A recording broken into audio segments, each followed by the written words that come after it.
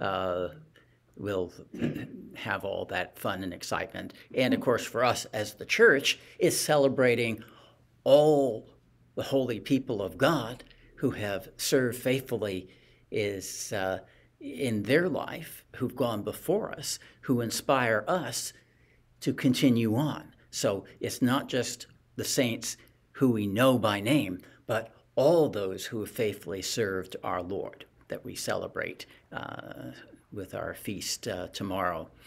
So we begin our service on page 106. Page 106.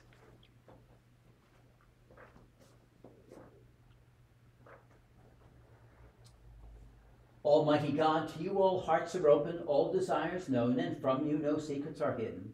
Cleanse the thoughts of our hearts by the inspiration of your Holy Spirit, so that we may perfectly love you and worthily magnify your holy name through Christ our Lord. Amen. Amen. Blessed is the kingdom of the Father, and of the Son, and of the Holy Spirit, now and always. Amen. Hear the words of our Lord Jesus Christ. You shall love the Lord your God with all your heart, and with all your soul, and with all your mind. This is the first and great commandment, and the second is like it. You shall love your neighbor as yourself. On these two commandments depend all the law and the prophets.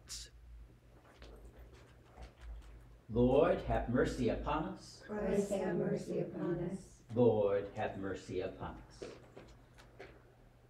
Our prayer will continue with our collect, the 22nd Sunday after Trinity, uh, collecting us together in a common prayer, which has been for 2,000 years and throughout the world for at least 1,500 years. These uh, the prayer we use on Sunday has been used. So let me bring up.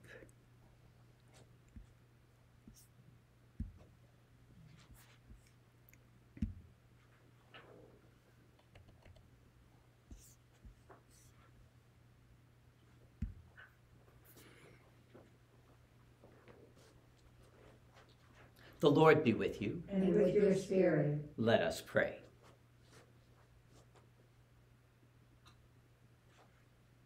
Lord, Lord God, keep your household, the church, in constant holiness, so that by your protection we may be freed from all adversity and with devotion serve you in good works to the glory of your name, through Jesus Christ our Lord, who lives and rules with you and the Holy Spirit, one God, forever and ever. Amen. Amen. Amen.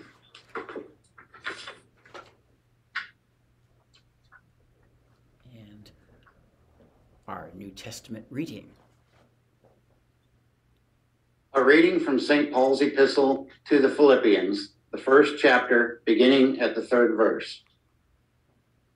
I thank my God in all my remembrance of you, always in every prayer of mine, for you all making my prayer with joy, because of your partnership in the gospel from the first day until now.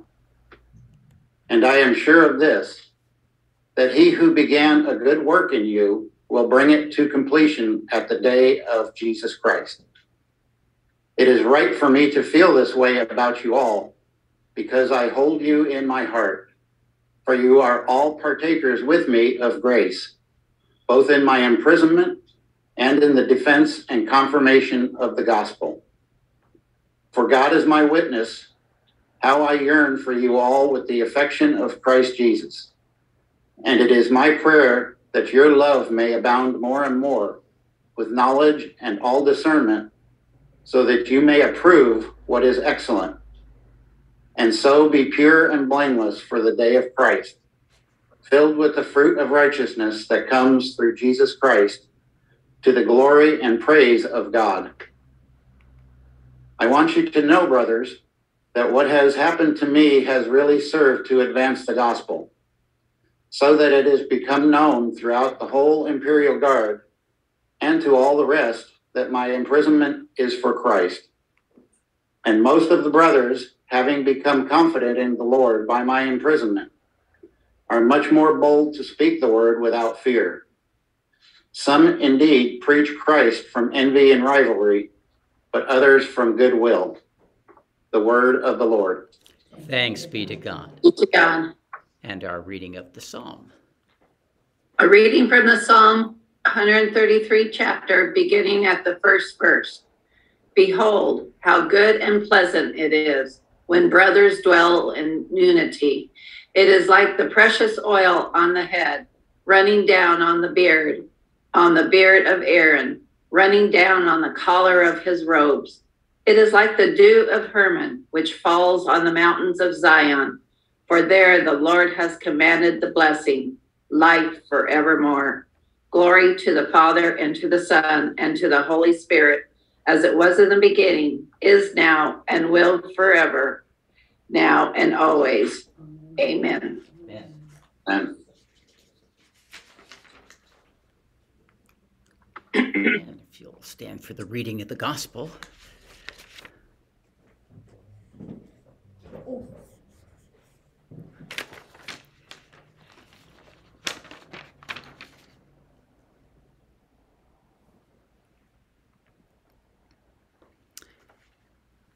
The Holy Gospel is written in the 18th chapter of the Gospel according to St. Matthew, beginning at the 21st verse.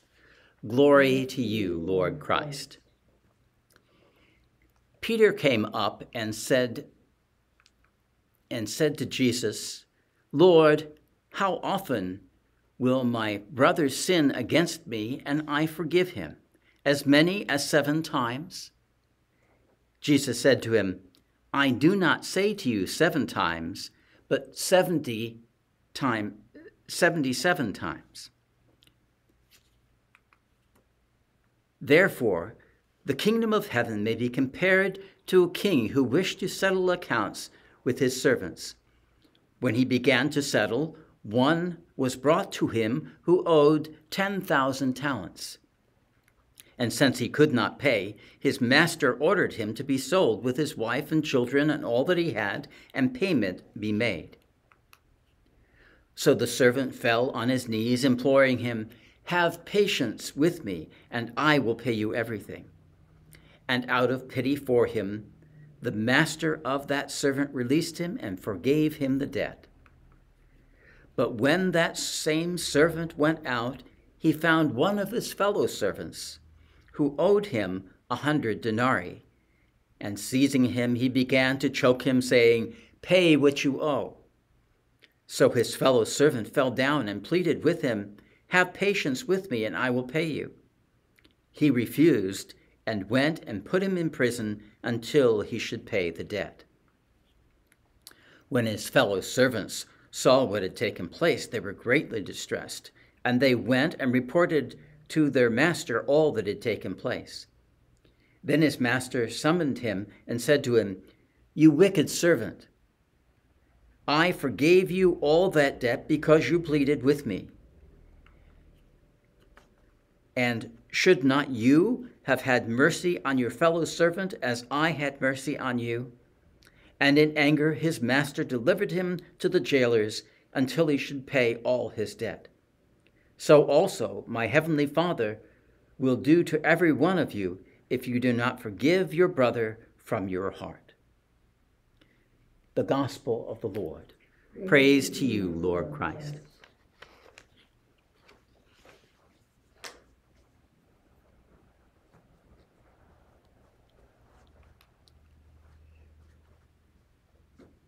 We'll continue on page 108 with the ancient statement of the Christian faith, the Nicene Creed, page 108. I believe in one God, the Father Almighty, creator of heaven and earth, and of all things visible and invisible.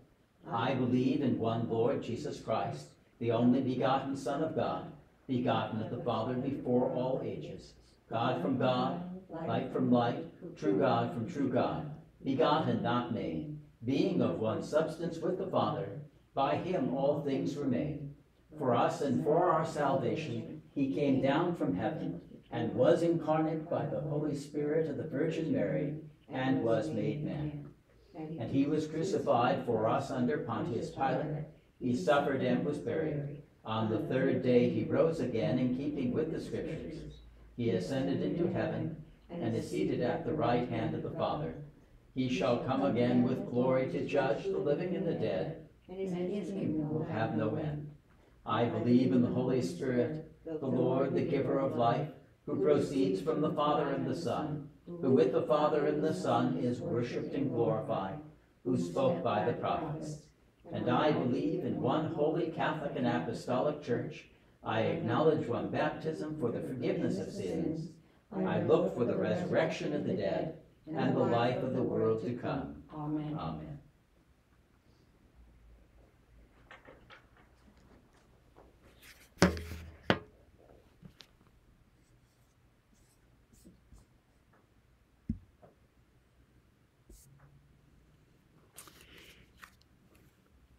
In the name of the Father, and of the Son, and of the Holy Spirit.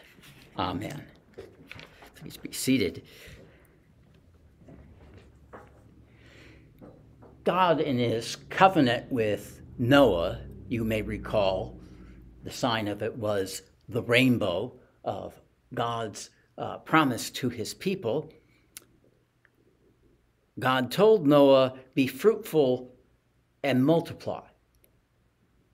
He didn't say, Your life is going to be the same, plain, and ordinary every day.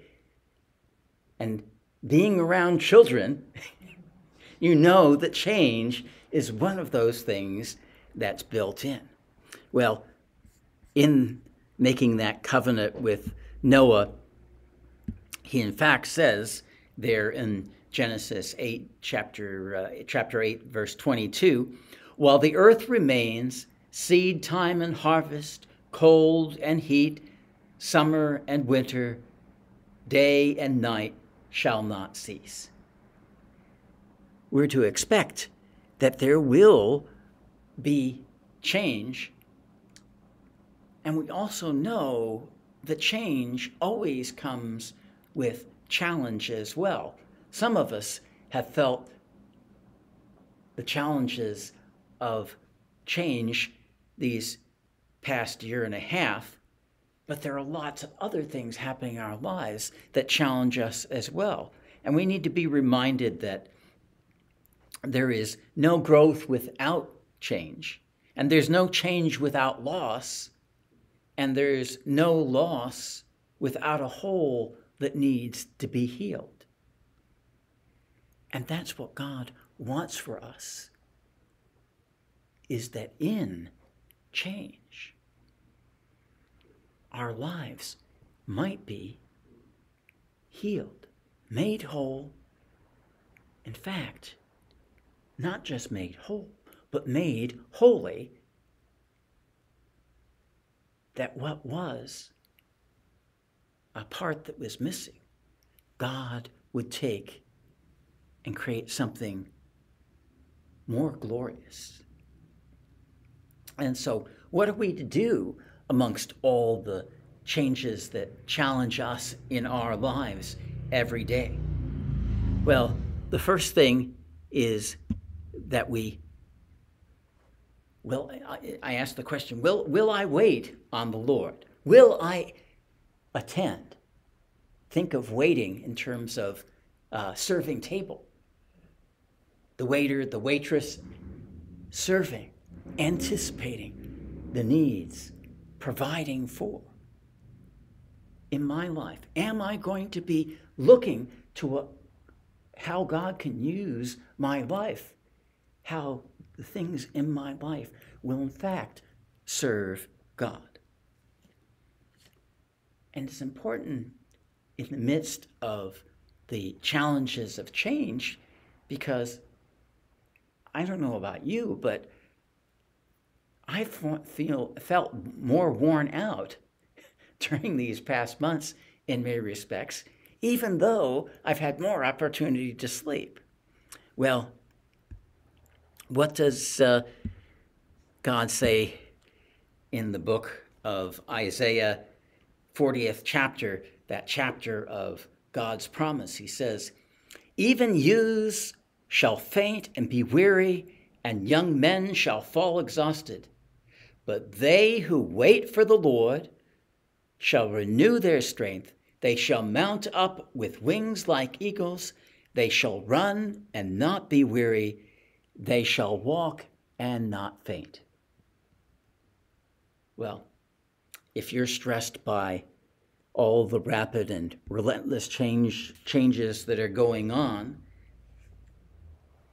and they come, it seems, wave after wave, waiting for the Lord, attending to our Lord, is where that strength is going to enter into our lives, mounted up like as on eagle's wings. In our daily life, that's the function that morning prayer is to have for us, that each day we would ask God to renew our lives. The prayers and the Bible readings allow us to see our coming day in light of what it is that God, God is doing. Then make those adjustments to make those the priority in our life. And so, morning prayer is bringing your day, your action, your schedule in line with what God desires for you. Planning and prayer, in fact, go together. Before we start into the day, before you go in to meet with somebody and you know it may be difficult or you face a challenge, that's the time for our prayer to ask that we might do it for the glory of God, to see God's hand, the possibility that God is going to enter in to that difficult situation. And so we attend to Him. James, in the first chapter, says, If any of you lacks wisdom, let him ask God, who gives generously to all without reproach, and it will be given to him. God wants to give that wisdom, that insight of something greater going on. And so we look to him. And then, second, will I focus on God's constants, that is, the eternal, focusing on what will last rather than things that are passing away.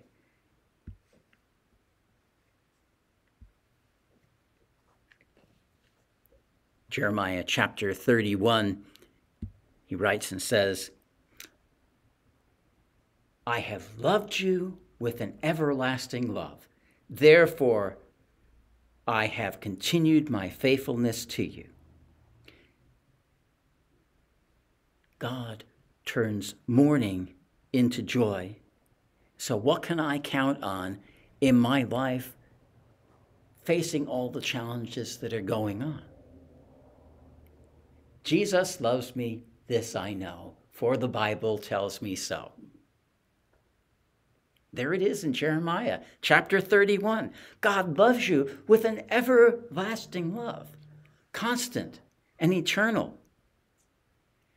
In the book of Psalms, in Psalm 33, he writes and says, uh, uh, The counsel of the Lord stands forever, the plans of his heart to all generations. What will get you through in difficult times of change and that are challenging you is to hold on to those things that are going to last, the things that don't change. God's plan, God's purpose, God's promise. I mean, they're not a moving target. You don't have to guess what it is that God wants and desires. It's been constant all the way along. What changes? It's my life that changes. And so I need to see how those eternal things of God fit in to the very things that I'm doing where there is change. What does it look like? We like to fool ourselves that we're as a society learning more and more truth. No, there's just more and more complexity. Our circumstances change. But those things that are good and right, how we treat one another, how we honor God, those things don't change. The level of our science and technology may think, make things more complex, may make it more difficult to decide how God's truth is going to be worked out in this circumstance. I mean, every time there's a new uh, new breakthrough in uh, in medicine, extending of life. What does that mean for us in choosing what's good and right? It's a new circumstance, a new challenge for us. And then, thirdly, I will put my trust in God daily. Trusting God each and every day. And it's not always easy to do. We work at it. We're to take up our cross daily and follow our Lord. And it's not that my life is going to be perfect, that I'm going to be perfect, or your life is going to be perfect, you'll be perfect. I mean, who do we make statues of? Christopher Columbus and Thomas Jefferson were not perfect people. Some of the saints that we're celebrating were, in fact, bigoted they were flawed people. David, the greatest hero of the Old Testament, was a flawed man. He killed his best friend so that he could have a romantic relationship with his wife.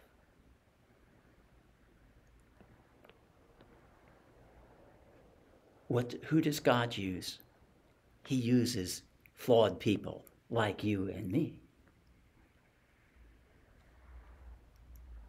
And what makes the difference is when I've turned away, will I turn back to God? Will I trust Him, His forgiveness to enter in, to make up where I've turned away, where I've fallen, where I've done those things that are wrong?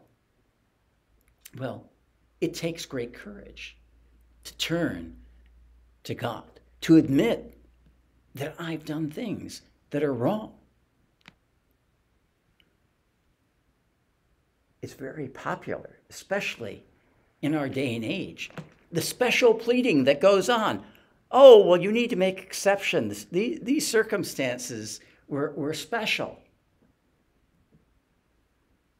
Or my favorite is, I excuse myself for the following sins rather than accuse myself for them.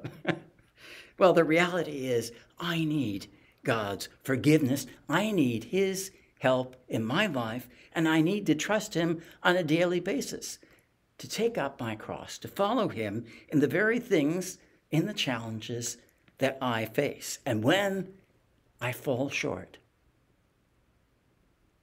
to ask God to step in with his goodness and grace to forgive my sin.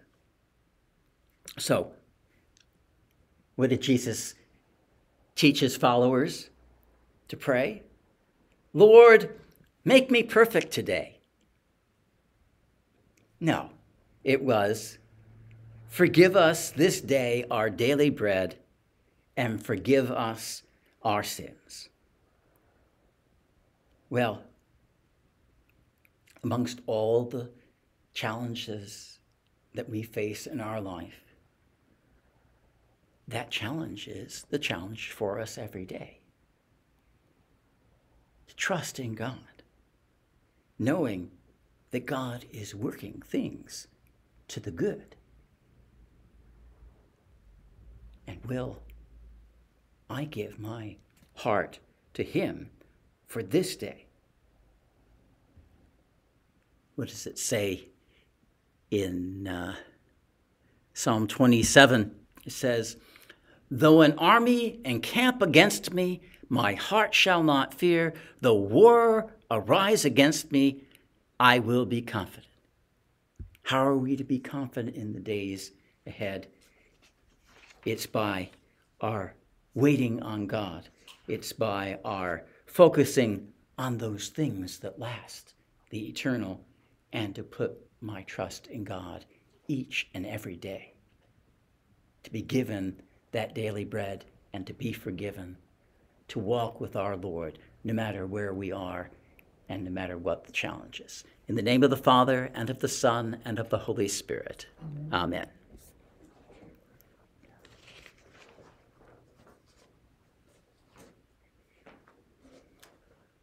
Offer to God the sacrifice of thanksgiving and make good your vows to the Most High. We'll be offering ourselves and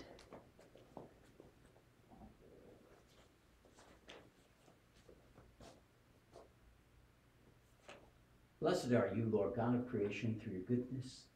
We have the many gifts that you have given to us. Top, on top of page 109.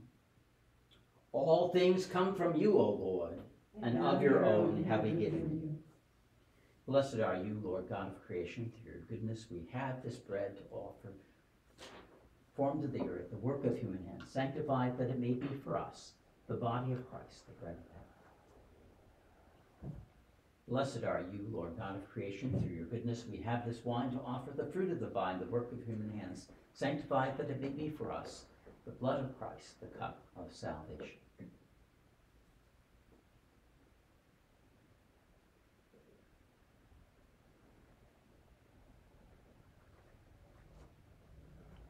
As we offer up ourselves, we do so with special intention, asking for God's help and grace, His healing enter in, entering into our lives, that we might draw closer to Him in the things that we face this day and during our week. It is also offered on this day for all those saints who have gone before us to encourage us uh, along the way. It is also offered for all those for whom we've been bidden to pray, uh, all those in need of healing and protection in their lives.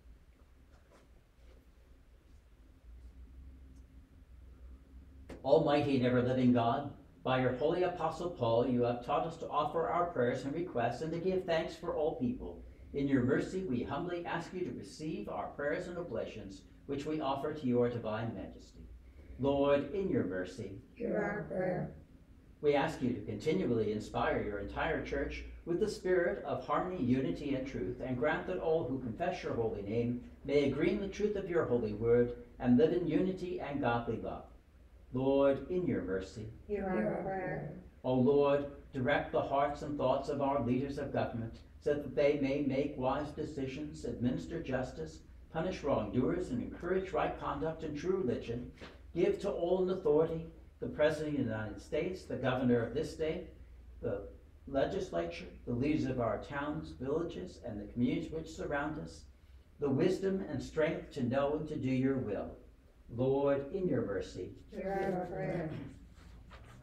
Heavenly Father, give your grace to all pastors, to all bishops, priests, and deacons, especially Ray and Walter, our bishops, and to every leader in our fellowship. May they show forth your true and living word by their life and teaching, by their right and faithful administration of your holy sacraments, and by their training and equipping your people for ministry. Lord, in your mercy, hear our prayer. And to all your people give your heavenly grace, so that they may, with pure hearts and minds, hear and receive your holy word, truly serving you in right conduct and holiness of life all the days of their life. Lord, in your mercy, hear our prayer.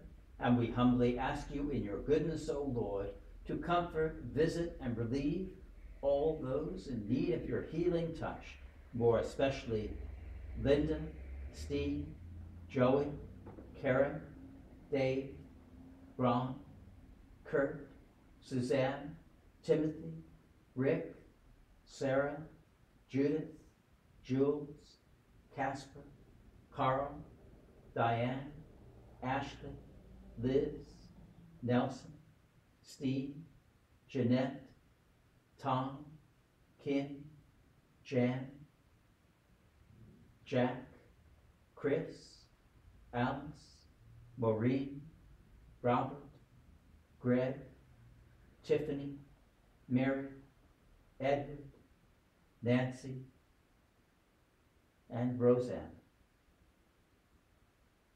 For all those who were aged and infirm, especially Betsy and Carl, and for all those in need of the strength and guidance of the Holy Spirit in their lives, more especially Pat, Keith, Suzanne, and their family, Rich, Kim and her family, Bonnie Ray, Bob, Robert, Angela, Jeff, Mo, Sean, Pat, Denise and their family, Barb and her family, Adam, Loretta. Remember all those who are seeking employment, especially Philip and Joseph.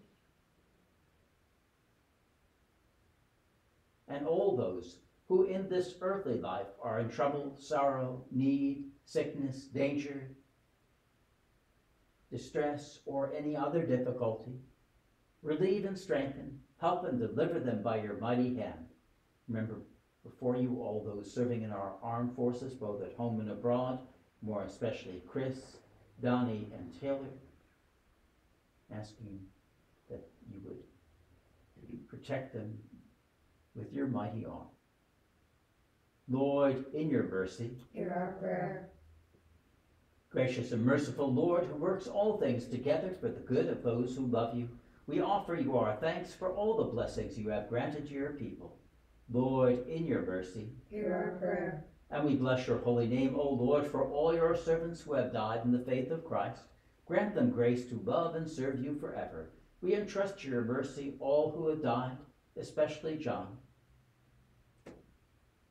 Give us grace to follow the good examples of those who have gone before us in the faith, so that with them we may be partakers of your heavenly kingdom. Lord, grant them eternal rest. May your everlasting light shine upon them. Grant these our prayers, O Father, for Jesus Christ's sake, our only mediator and advocate, who lives and rules with you in the unity of the Holy Spirit, now and always. Amen.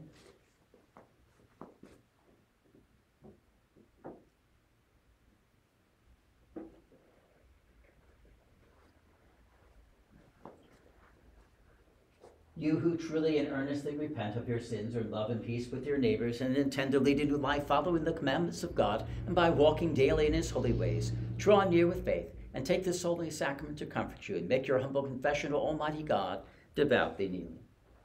Almighty God, Father of our Lord Jesus Christ, maker of all things, judge of all people, we acknowledge, confess our many sins and wrongdoings, which we have committed from time to time by thought, word, and deed against your divine majesty, justly bringing your sorrow and anger upon us. We earnestly repent, and from our hearts are sorry for all our wrongdoings. Remembering them weighs heavily upon us, the burden of them is more than we can bear. Have mercy upon us. Have mercy upon us, most merciful Father. For your Son, our Lord Jesus Christ's sake, forgive us all that is past, and grant that from this time forward we may serve and please you in newness of life, to the honor and glory of your name, through Jesus Christ our Lord. Amen. Almighty God, our heavenly Father, who of his great mercy has promised forgiveness of sins to all those who with hearty repentance and true faith turn to him, have mercy upon you. Pardon and deliver you from all your sins, confirm and strengthen you in all goodness, and bring you to everlasting life, through Jesus Christ our Lord. Amen. Hear the comforting words of our Savior to all who truly turn to him. Come to me, all who labor and are heavy laden, and I will give you rest. For God so loved the world that he gave his only Son, that all who believe in him should not perish, but have eternal life. and hear the words of Paul the Apostle. The saying is trustworthy and deserving of full acceptance that Christ Jesus came into the world to save sinners. And John the Evangelist says, If anyone does sin, we have an advocate with the Father, Jesus Christ the righteous, and he is the propitiation for our sins, and not for ours only, but also for the sins of the whole world. The Lord be with you. And with your spirit, Lift up your hearts. we lift them up to the Lord. Let us give thanks to the Lord our God. It is fitting and right to do so. It is very fitting, right, and our duty that we should at all times and in all places give thanks to you, O Lord, Holy Father, Almighty, everlasting God. Therefore, with angels and archangels and with all the company of heaven, we proclaim and magnify your glorious name, forever praising you and saying, Holy, holy, holy, Lord God of hosts. Heaven and earth are full of your glory. Glory to you, O Lord Most High. Blessed is he who comes in the name of the Lord. Hosanna in the highest. All glory be to you, Almighty God, our Heavenly Father, for you of your tender mercy gave your only Son, Jesus Christ, to suffer death on the cross for our redemption, who made thereby his one oblation of himself once offered, a full, perfect, and sufficient sacrifice, oblation and satisfaction for the sins of the whole world, and did institute and in his holy gospel commanded to continue a perpetual memory of his most precious death and sacrifice until his coming again.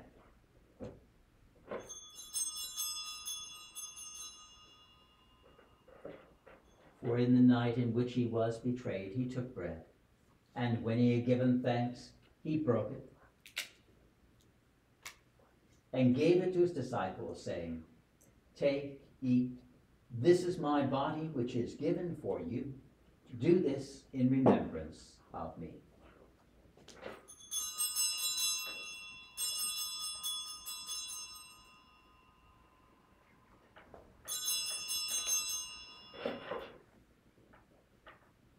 Likewise, after supper, he took the cup.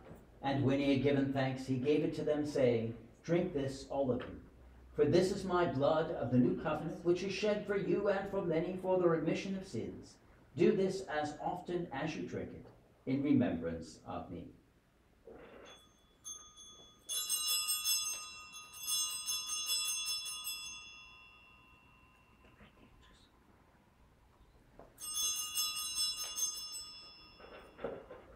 Wherefore, Lord and Heavenly Father, according to the institution of your dearly beloved Son, our Savior Jesus Christ, we, your humble servants, do celebrate and make here before your divine majesty, with these your holy gifts, which we now offer to you, the memorial your Son has commanded us to make, having in remembrance his blessed passion and precious death, his mighty resurrection and glorious ascension, rendering to you most hearty thanks for the innumerable benefits provided to us by the same. Merciful Father, we humbly ask you to hear us, and of your almighty goodness to bless and sanctify with your word and Holy Spirit these your gifts and creatures of bread and wine, that we receiving them according to your Son, our Savior Jesus Christ, holy institution, in remembrance of his death and passion, may be partakers of his most blessed body and blood. And we earnestly desire your fatherly goodness mercifully to accept this our sacrifice of praise and thanksgiving, most humbly asking you to grant that, by the merits and death of your Son, Jesus Christ, and through faith in his blood, we and all your whole church may obtain remission of our sins and all other benefits of his passion. And here we offer and present to you, O Lord, ourselves, our souls and bodies, to be a reasonable, holy, and living sacrifice to you, humbly asking you that we and all others who shall be partakers of this holy communion may worthily receive the most precious body and blood of your Son, Jesus Christ, be filled with your grace and heavenly benediction, and made one body with him, that he may dwell in us, and we in him. And although we are unworthy through our many sins to offer to you any sacrifice, yet we humbly ask you to accept this, our essential duty and service, not weighing our merits, but pardoning our offenses, through Jesus Christ our Lord, by whom and with whom, in the unity of the Holy Spirit, are given all honor and glory, O Father Almighty, now and always.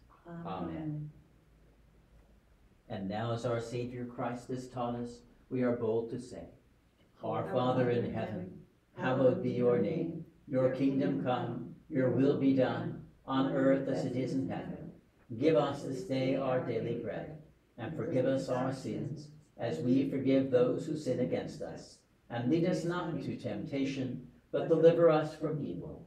For yours is the kingdom, and the power, and the glory, forever and ever. Amen.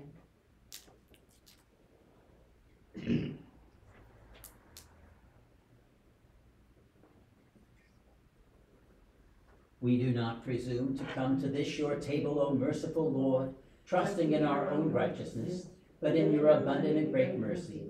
We are not worthy to gather up the crumbs under your table, but you are the Lord who always has mercy upon his people.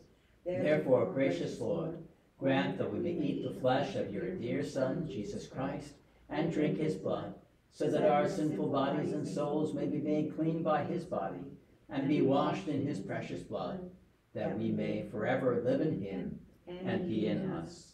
Amen. O Lamb of God that takes away the sin of the world, have mercy upon us. O Lamb of God that takes away the sin of the world, have mercy upon us. O Lamb of God that takes away the sin of the world, grant us your peace.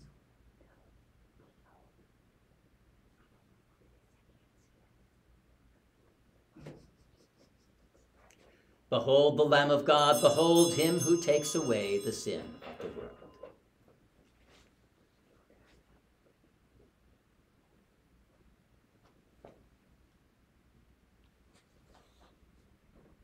Lord, I'm not worthy that you should come under my roof, but speak the word only, and my soul shall be healed.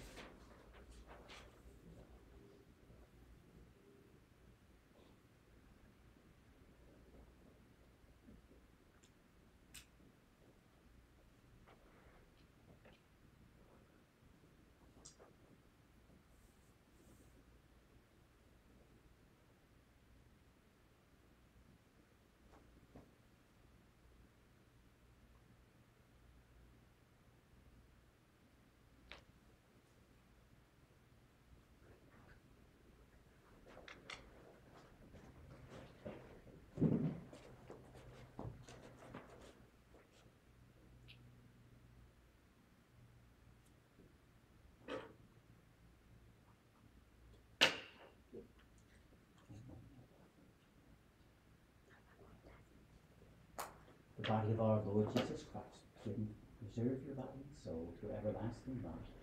And eat some remnants of Christ's life, and feed on him in your heart by faith with thanksgiving.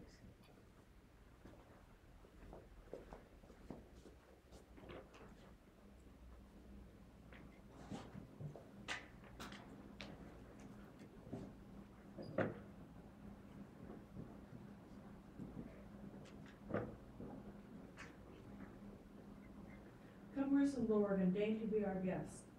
Nay, let us be thy guests, that feast is thine. Thyself at, at thine own board make manifest, and this our sacrament of bread and wine. Us as in that upper room they met, thou at the table blessing yet dost stand. This is my body, so thou givest yet, faith still receives the cup as, as from thy hand. One body we, one body who partake, one church united in communion blessed. One name we bear, the bread of life we break, with all thy saints on earth and saints at rest. One with each other, Lord, for one in in thee, who art one Savior and one living head. Then open thou our eyes that we may see, be known to us in breaking of the bread.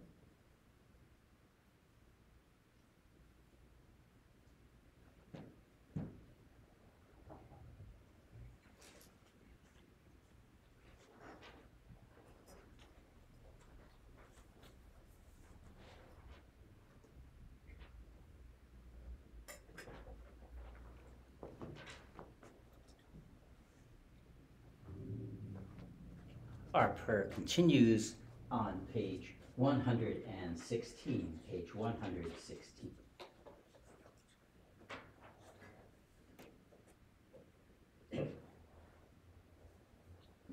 Let us pray. Almighty and ever-living God, from our hearts we thank you for feeding us in these holy mysteries, with the spiritual food of the most precious body and blood of your Son, our Savior Jesus Christ, thereby assuring us of your favor and love, and that we are living members in the mystical body of your Son, the blessed fellowship of all faithful people, and that in the sacrifice and death of your Son, we are heirs through hope of your eternal kingdom. Heavenly Father, we ask you to assist us with the help of your grace, so that we may continue in your holy fellowship and walk in every good work which you have prepared for us. Through Jesus Christ our Lord, who with you and the Holy Spirit Are given all honor and glory forever and ever. Amen. The peace of God, which surpasses all understanding, guard your hearts and minds in the knowledge and love of God and of His Son, Jesus Christ our Lord, and the blessing of God Almighty, the Father, the Son, and the Holy Spirit be among you and remain with you always. Amen. Jesus said to his disciples, Go therefore and make disciples of all nations, baptizing them in the name of the Father, and of the Son, and of the Holy Spirit, teaching them to observe all that I have commanded you. And behold, I am with you always to the end of the age.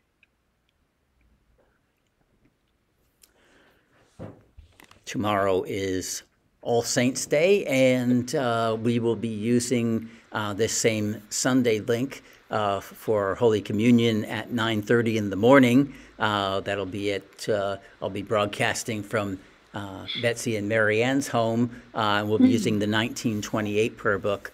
Uh, for that service, that's 9:30 tomorrow. Uh, the rest of our weekday services will be as usual, six o'clock uh, um, Tuesday, Wednesday, Thursday, and then Friday at 9:30 in the morning. Next Sunday is going to be an online only service, uh, unless Father Gregory is going to be uh, taking the service for us uh, uh, here on Sunday morning. I've come flying in at the last minute from our camp out, uh, but uh, uh, or I'll be flying home and and did to do the last minute there. Um, in any case, uh, that'll be next next Sunday uh, at 10 a.m. So uh, have a uh, great Sunday. Let me uh, just turn this. Uh, oh, let me let me actually let me close out the. Uh, no, I'll just uh, end stream. There we go. All right.